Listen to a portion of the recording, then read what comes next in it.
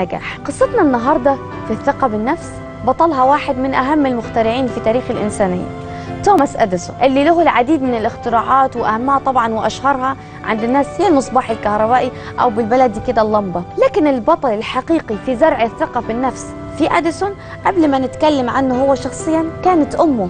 أديسون بيحكي وهو صغير إنه راح لوالدته ومعاه جواب من المدرسة.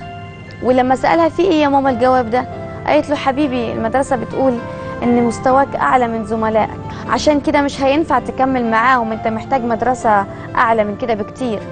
في حين إن اللي كان مكتوب إنه سمعه تقيل ومستواه أقل من زملائه واستجابته التعليمية ضعيفة جدا. لكن ثقة الأم بابنها خلاها ترفع من روحه المعنوية وتحاول معاه بنفسها لحد ما بقى واحد من أهم مخترعي العالم. تخيلوا معايا أي أم وأي أب ممكن يتصرف إزاي لو ابنه جايب جايب جواب معاه من المدرسة بيقول إنه ضعيف وأقل من زمايله. ده كان زرع الثقة من والدة أديسون وبسببه بقى أديسون مش بس صاحب اختراع المصباح ده له محاولات أخرى لاختراع الميكروفون وكان صاحب فكرة التليفون مع إنه ما نفذهاش. لكن ارتباطه بالمصباح سبب قصة كفاحه الطويلة.